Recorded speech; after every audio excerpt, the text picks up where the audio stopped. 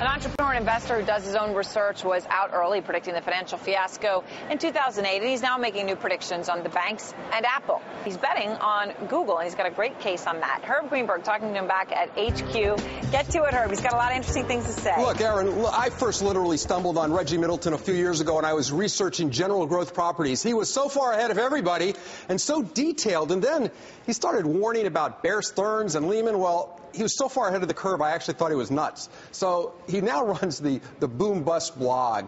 He also sells research to several big name research firms. Reggie, thanks for joining me here.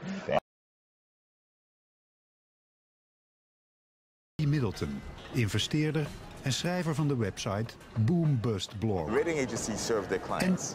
Okay, the biggest clients of rating agencies were the banks that you see here. So it's hard to say that the rating agencies did something wrong. They did their job, and their job was serving their clients. It appears that they were wrong if you don't understand their business model. Reggie Middleton, investeerder en schrijver van een kritisch financieel weblog, keek goed naar de rol van de kredietbeoordelaars in de financiële crisis.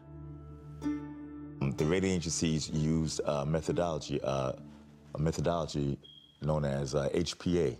Um, uh, uh HPA, which is perpetual housing appreciation, where when they price the CDOs and the derivative structures for the mortgage-backed securities back in 2005, 4, 5, 6, 7, 8, they assumed a minimum perpetual appreciation of housing that would be positive forever and ever and ever.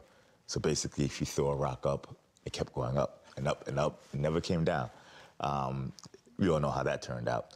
Um, the mere fact that you would assume perpetual uh, house price appreciation means either you aren't very bright, which is not the case. You know, these guys are definitely not mm, stupid, or you had ulterior motives, and those ulterior motives weren't necessarily in line with getting a true assessment of risk.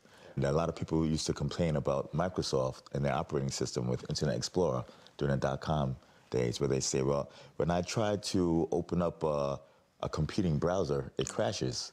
And they say there's a bug in the operating system. And then I would say that's not a bug, it's a feature.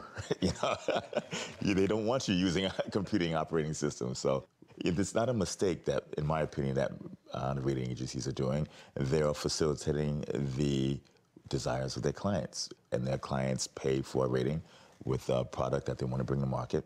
And if it needs a AAA rating, the rating agencies give it a AAA rating.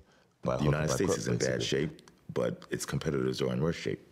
Yeah. As for right now, um, there's a triumvirate of China, the EU, uh, China and Southeast Asia, the EU, and surrounding uh, you know um, nations, and the U.S. And basically, I think there's a game of chicken to see who blows up first. Um, and whoever blows up first is going to lose their capital in flight to the other two nations, um, which helps them continue the Ponzi a little further. The U.S., um, if the interest rates on U.S. Treasuries were to increase, our um, debt service would be significantly higher, potentially unsustainable. Um, but in order for it to increase, it has to be a significant reason to increase, and that capital needs to go somewhere else.